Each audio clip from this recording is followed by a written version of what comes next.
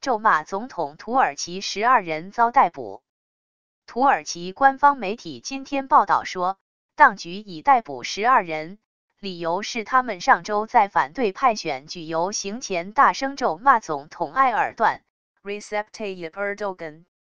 这十二人被控在反对派候选人因斯 （Muharrem Ins） 于爱琴海城市伊兹米尔 （Izmir） 的大规模游行活动登场前。侮辱国家领袖。尽管因斯选情一度看涨，埃尔段仍在二十四日的首轮选举成功连任。土耳其官媒安纳杜鲁新闻社 （Anadolu News Agency） 报道说，案发在伊兹米尔一家提供酒类的餐厅，相关照片已在社群媒体上流传。这十二人目前被拘留在狱中候审。上传亲政府网站的影片显示，民众坐在露天餐厅一再用埃尔段的名字说反话，当中有被消音的辱骂用词。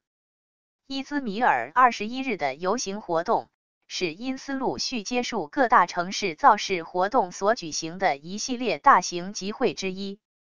伊兹米尔市是因斯所属的共和人民党 （Republican People's Party） 铁票仓。因斯在伊兹米尔省赢得百分之五十四选票。